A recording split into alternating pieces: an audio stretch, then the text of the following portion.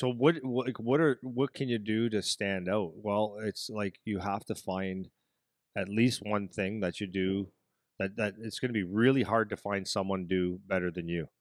So what you- you might have to look at it, and I'm not going to give you just like here's here's five things, but I'm going to give some examples. So one way to look at it is look at how is the game played right now. So like let's go back to when I was a hockey player in the 80s and the 90s. Okay, the 80s and 90s was a jungle, right? When you skated, there was a stick through your legs or in your ribs, or uh, you know, it was cross checking, it was fighting, it was big guys, it was fast. It's, it's a lot faster than people thought, but it wasn't the same flow. It was a game of intimidation and all that kind of stuff. So that game is that. Okay. So if I'm looking back now and I'm a five foot ten skilled guy, then you better be really you have no chance to play if you're just kind of skilled. Yeah. So or so you have to be as as tough as Ty Domi, right? A smaller guy that can beat up big boys. Well, I wasn't doing that, right?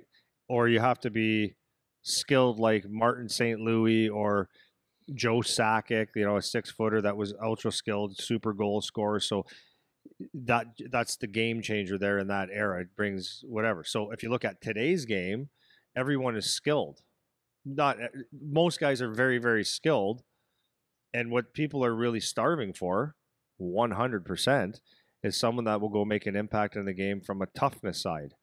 I truly believe the guys that are going to start making money in the NHL level are the guys that are going to be able to bring that element of toughness. I think they're going to get start getting paid. Yeah. Because you take the Tanner Jeannot, the uh, the Tom Wilsons, the Tkachuk, Tkachuk, uh, guys like that that bring that grit and can put some pucks in the net. They're getting paid. They're Right. going. to I think that's going to be a commodity that's necessary. But so you take that same player, is- does T- Tanner Jeannot or Jeannot play in the National Hockey League in 1995? Might not be tough enough Right. he probably it it fits in the middle, but he's not super tough. I I, I don't don't know the no, answer. yeah, that's an example right? though. Yeah. So and then does a does a guy like I don't know uh Mitch Marner play in the National Hockey League in '95? I don't think so actually. Right. Right. So vice Yeah. versa. There's a lot of guys you can flip on that. So my point is that you have to find something like you look at the game and it's like if everybody's the same, how can I be different? Right. Right. Yeah. Go ahead. Well, and that's that's why it's a really good tip or really good point to actually study the game. Yeah. And kids can do this, man. Like you can ask these questions or mom and dad if you have the hockey talks with your kid like Yeah. my dad used to do all the time. It's like ask questions to see what is the game lacking, Yeah. you know? And it's ne- it's it's never going to be the thing that most people are doing because that's the average and the average makes you vanilla.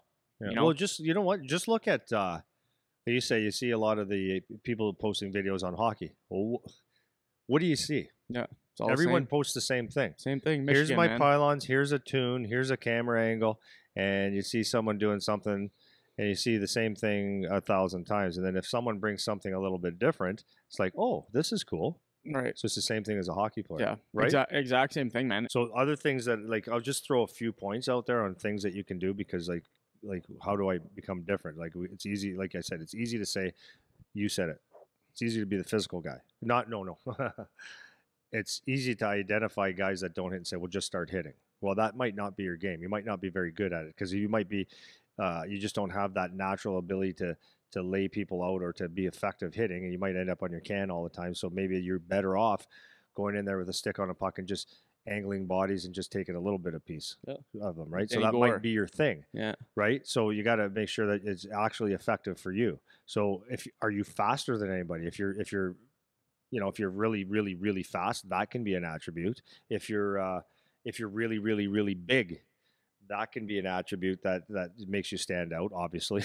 but your big your your size could be an intimidating factor. It could be just reach and and and uh, good on penalty kills or just having good reach to knock pucks away. So that's actually a really good skill. Like if you watch someone like uh, we were talking about in the playoffs, Alex Killorn and whoever else it was, Nichish, Nichushkin and all these guys, it's like they're just knocking pucks away, disrupting plays. ass, I disrupt plays better than anybody else in the world. Yeah. If you work on that actual skill, when the- anything's around me, I'm in positions where I can knock pucks away and disrupt plays. Right. You become different than most people. Mhm. Um, block shots, like the one guy on Charlie's team, Ashton Reeser, he just blocks shots. He just blocks shots. Eat he doesn't care yeah. if he gets a point.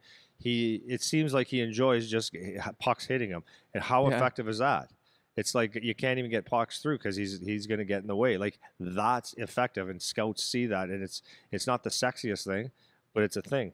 Um, is your shot right? You might be kind of in certain areas of your game not the best, like you're you're just average, but your shot is extremely above average, accuracy and uh, release and all that kind of stuff. So okay, there's a thing, right?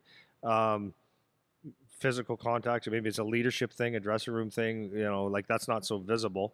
Uh, here's a, here's one for you: smarts. Like you hear a lot of parents say, "Yeah, he's not that he doesn't stand out that much, but he's because he's really smart." Well, usually that's not the case.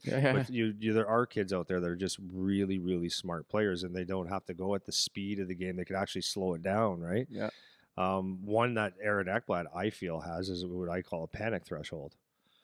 So I think in his, because Aaron's not the greatest skater at all, but what he does well, he sifts pucks to the net. Like if you walk some of the goals that Aaron scores, it's like how did that go in? It Because they go like yeah, yeah. they float and then they go off an ass and off a shoulder. Goalie rolls off his head and go in and it consistent like a lot. Yeah. It's not an accident. It's a skill that he has for some reason that no one understands because it, it's just the way it is.